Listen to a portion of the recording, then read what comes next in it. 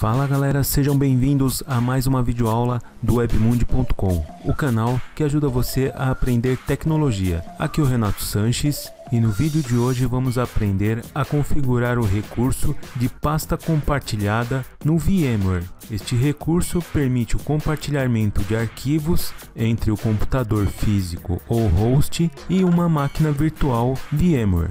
E vamos aprender a configurar este recurso tanto em uma máquina virtual Windows quanto em uma máquina virtual Linux. Então, se você se interessa por esse assunto, deixe seu like, se inscreva no canal e ative as notificações para não perder nossos próximos vídeos. E vamos para mais esta videoaula.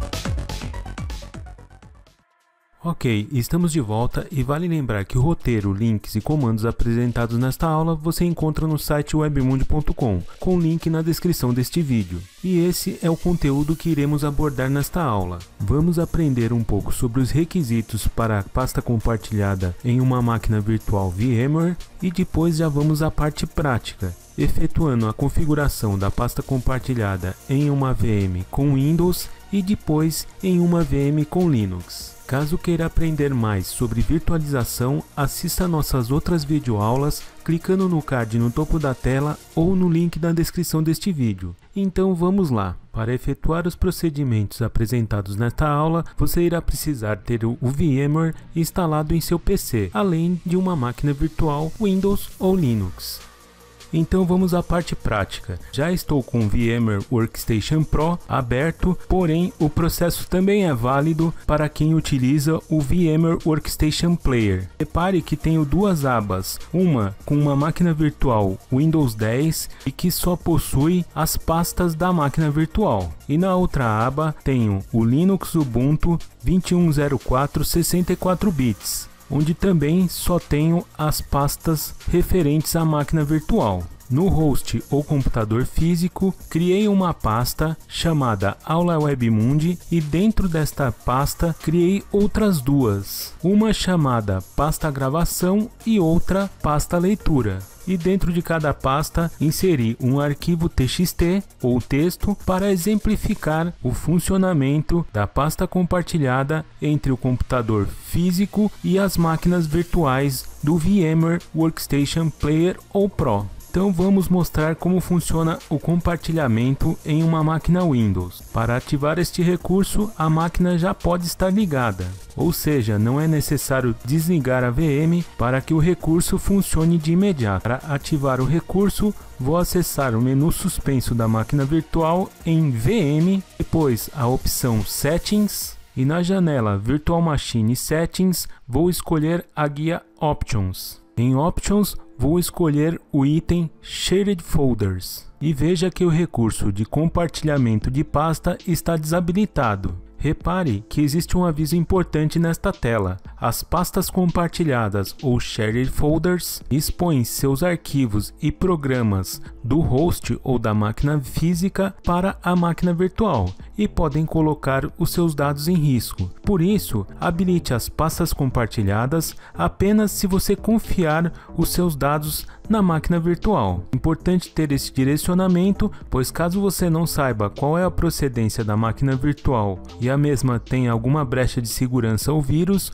os dados do host podem ser colocados em risco. Por isso, o recurso de Shared Folders ou pastas compartilhadas vem desabilitado quando você instala uma VM no VMware. Pare também que temos três opções: a opção padrão, que é desabilitado, a opção sempre habilitado ou Always Enable e a última opção que é Enable Until Next Power Off ou Suspend, que fará com que o recurso de compartilhamento de pasta fique habilitado até o próximo desligamento ou suspensão da máquina virtual. Nosso exemplo, irei deixar o recurso de compartilhamento de pasta sempre habilitado, portanto vou escolher a opção Always Enable. Fique à vontade para escolher a opção que mais lhe agrada ou que seja mais adequado para o seu uso. Após isso, vou clicar no botão Add para informar a pasta do host ou computador físico que será compartilhada com a máquina virtual. Vale lembrar que esse recurso é por máquina virtual,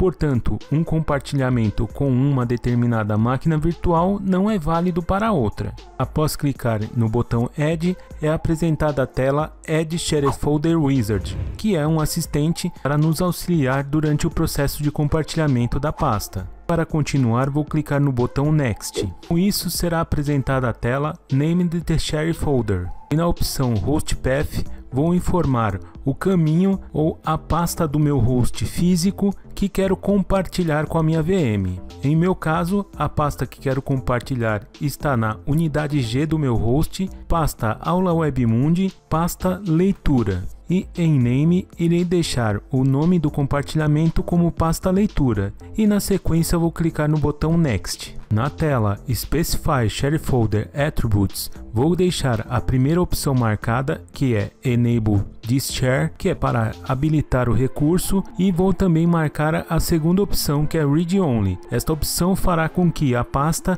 seja compartilhada somente para leitura, ou seja, a pasta será compartilhada na VM, mas a partir da VM não conseguirei gravar na pasta, apenas conseguirei visualizar os arquivos ou copiá-los para a VM. Curso de segurança muito interessante se você, por exemplo, vai instalar algum aplicativo ou algum software e quer ler algum recurso da máquina host, sem colocar os dados do computador físico em risco. Após isso, vou clicar no botão Finish e com isso voltamos à tela anterior. Agora vou adicionar uma pasta com direito de leitura e gravação. Então vamos novamente clicar no botão Add. Na tela de boas-vindas vou clicar Next e agora na tela Name the Share Folder vou especificar uma outra pasta do meu host físico em Host Path. Vou informar a pasta G dois pontos Aula e a pasta será a pasta gravação e o nome irei deixar como pasta gravação.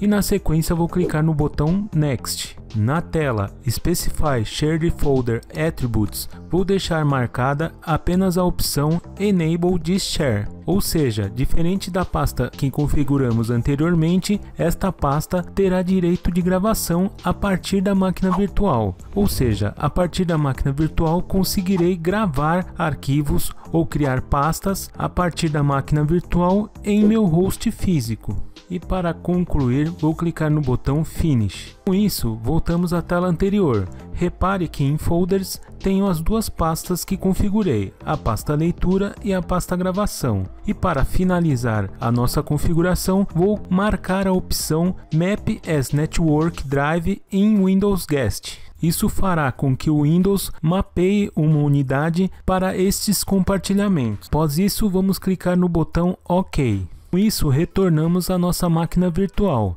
Agora vou abrir o explorador de arquivos, acessar o item este computador, veja que em locais de rede tem o item Shared Folders como uma unidade Z. Ao selecionar esta unidade, repare que tem as duas pastas, tanto a pasta gravação quanto a pasta leitura, que são pastas compartilhadas do meu computador físico ou host. Agora vamos verificar as permissões das pastas compartilhadas que configuramos anteriormente. Então vamos acessar agora a pasta compartilhada chamada pasta gravação. Esta pasta possui um arquivo chamado arquivograva.txt, onde faremos alterações e como o arquivo ou pasta possui permissão de gravação, será possível salvá-lo em meu host. Então vamos lá, ao dar um duplo clique no arquivo, informo para o Windows que quero abrir o arquivo com um bloco de notas.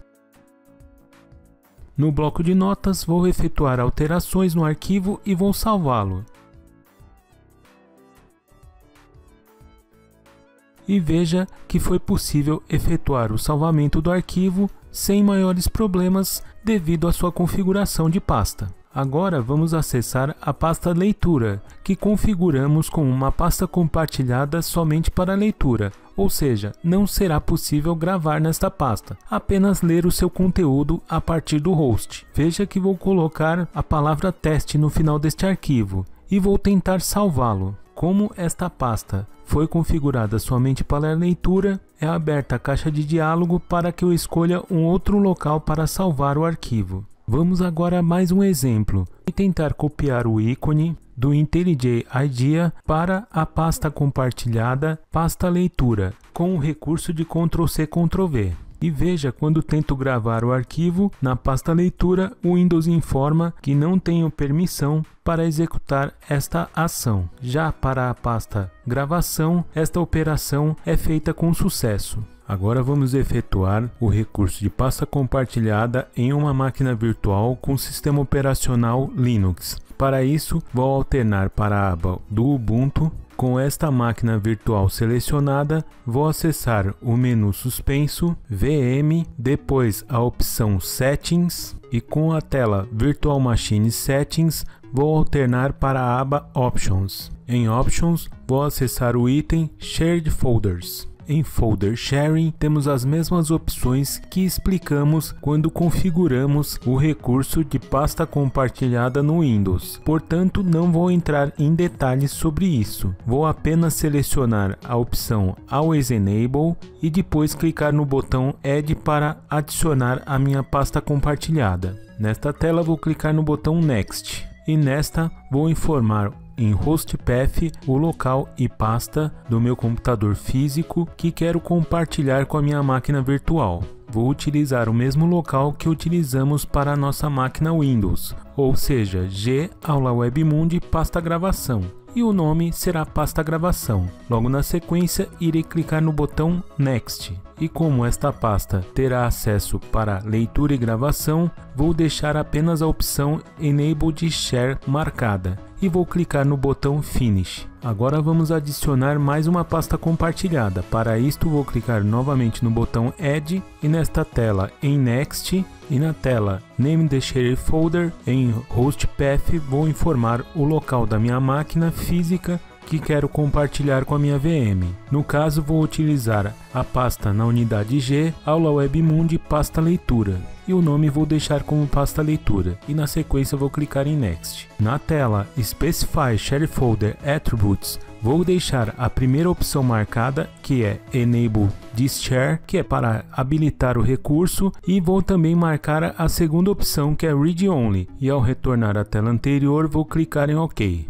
Com isso, o recurso de pastas compartilhadas é habilitado e para acessá-lo, irei acessar o Files ou Arquivos e acessar o seguinte caminho em tela, ou clico em Other Locations ou Outros Locais, depois a pasta MNT e depois a pasta HGFS. E veja que nesta pasta tenho as pastas pasta gravação e pasta leitura. E o comportamento é o mesmo que vimos no Windows. A pasta que foi definida para a gravação eu consigo gravar. Já a pasta que foi configurada como somente para leitura, eu só vou conseguir ler os arquivos, porém não vou conseguir gravar nenhum conteúdo na mesma. Porém, posso copiar o arquivo da pasta gravação e salvar em outro local, como por exemplo na pasta Home Documents, onde posso efetuar alterações e salvar o arquivo.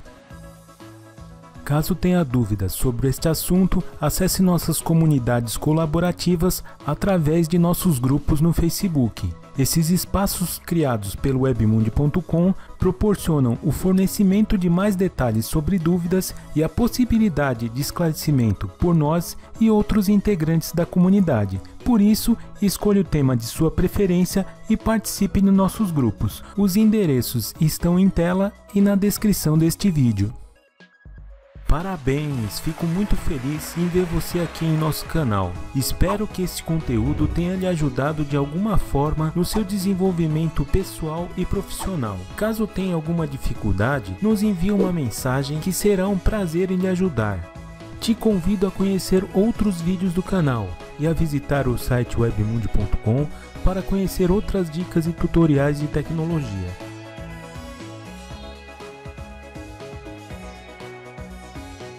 No mais, agradeço a sua companhia, um grande abraço e até o próximo vídeo.